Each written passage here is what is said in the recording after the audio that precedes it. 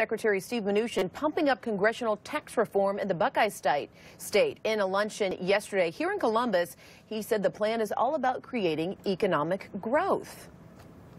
Our objective is to make sure that everybody has a tax cut, but given all the complexities in the code, uh, that's that's something that we're dealing with.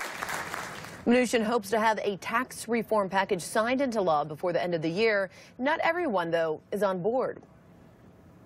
If it's aimed basically in a way that the people at the top are the by far the biggest beneficiaries, and now we know millions of people across this country will actually see a tax increase, that's just not something Democrats are going to support.